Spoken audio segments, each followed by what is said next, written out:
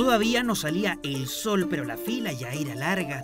Bien abrigados regresaron los estudiantes luego de tres semanas de vacaciones de invierno. Me gustó a mí en lo personal porque igual es como eh, pasó una etapa de harto frío.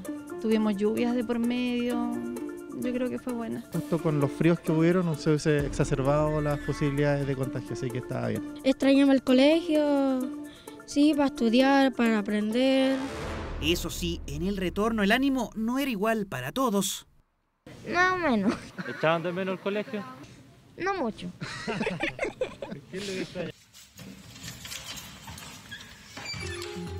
pero no le quedaba otra. Había que volver a clases, sobre todo en un año en que la presencialidad en las aulas ha estado lejos de las aspiraciones del gobierno.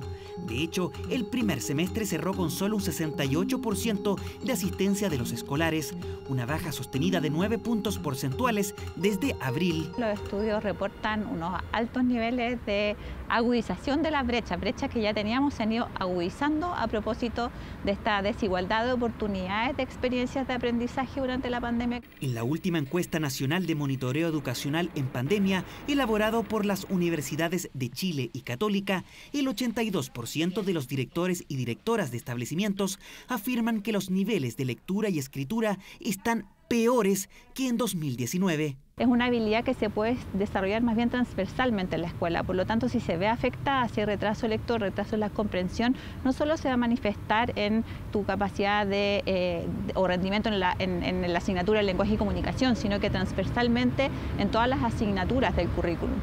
Algunos especialistas estiman que la falta de clases presenciales provocó un retroceso de un año y medio en el aprendizaje en Chile.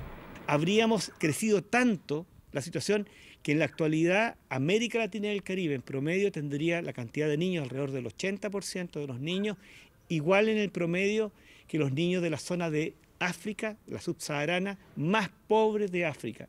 El gobierno busca que durante el segundo semestre el sistema educacional en Chile se acerque a la presencialidad plena tenemos importantes brechas que resolver, especialmente en el ámbito del clima escolar, el bienestar, ¿no cierto?, socioemocional. Todas las acciones que nosotros queremos impulsar este segundo semestre tienen relación con esta presencialidad plena y parte de ello implica usar todos los tiempos escolares y eso es la jornada escolar completa.